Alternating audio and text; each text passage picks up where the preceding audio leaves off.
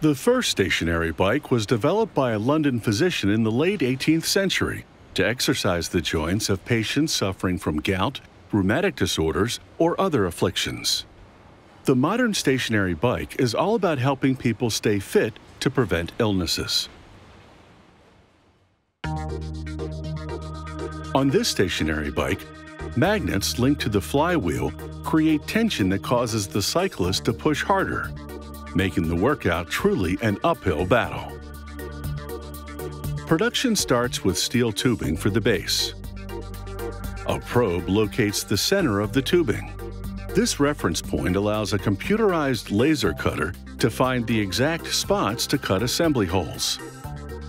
With the assembly holes cut, the laser slices the tubing to the correct length. An automated system retrieves the part and transfers it to a holding area. A worker inserts screws in the base part, which will attach it to the main frame. He pipes sealant around the screws. Another worker now arranges the three tubular base parts in a welding fixture and clamps them in place. The fixture revolves and meets up with a robotic welder. The robot welds the three parts together. This completes the base of the stationary bike. The bike's main frame has been configured on the other side of the welding fixture. The robot welds these parts together. The fixture rotates to serve up another base assembly to the robot, and the worker collects the welded main frame from the reverse side. He grinds the welded seams smooth and gets rid of burrs on the steel. Workers sandblast the metal wash it and apply primer. After grounding the main frame, another worker sprays electrostatically charged resin and pigment onto it. Once it's baked on, this powder coat will provide a protective finish. At another station, a 55-ton press punches holes into posts for the bike's handlebar and seat. The holes are for adjusting the height of these parts.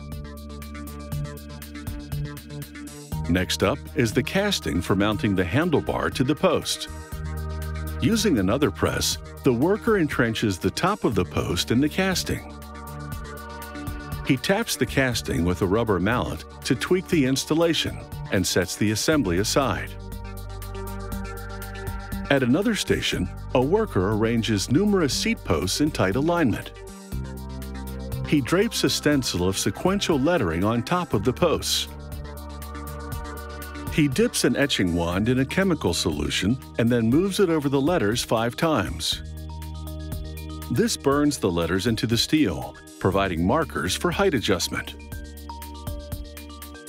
An assembler drives a wedge into one of the bike's two crank arms to create a hole that the axle will fit into. He checks the depth of the hole with a gauge.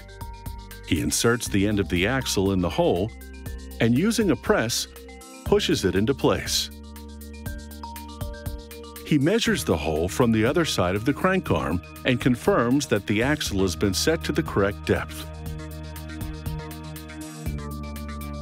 He then bolts the assembly to a precise torque. He locks the crank arm assembly in a lathe.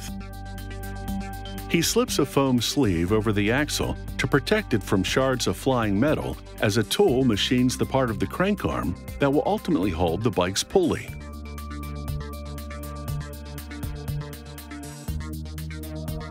Another member of the team now assembles bearings to a wheel hub. He slides two bearings with a spacer in a press. He heats the hub in an oven, causing the metal to expand. The machine presses the hub sandwich together. As the hub cools, it shrinks for a tight fit to the bearings. He installs a retaining clip in the hub to also keep it together. Next up are the holders for the magnets that create resistance on the flywheel. A worker places each one in a fixture to inspect the dimensions. He then checks the strength of the magnets in a tester. And satisfied, he inserts two in each holder. This metal cage, pulled into position by the magnets, completes the magnetic field. Stay tuned for more on the making of this stationary bike. The assembler installs the magnetic resistance unit so that it swings from a bracket on the mainframe. This bracket also holds the computer board. He mounts the aluminum flywheel to the axle, sliding it between the magnets in the tension device. He caps the flywheel hub and secures the cap with screws. The torsion spring-equipped cover completes the stationary bike's tension system. He assembles the crank arm and axle to the bike and installs a bearing. Then the bike moves on to the next station. Another worker places an alignment tool on the back axle.